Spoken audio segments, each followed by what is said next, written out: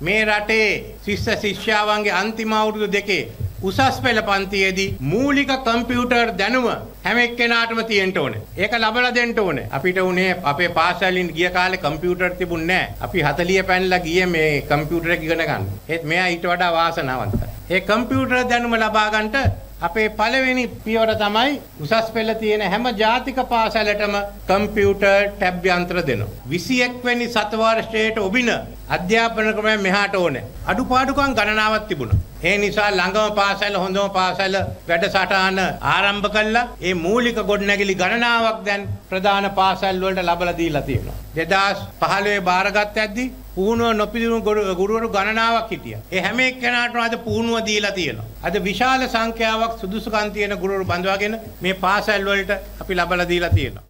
අමාත්‍ය රංජිත් මද්දුම බණ්ඩාර මහතාද උත්සව සභාව ඇමතුවා.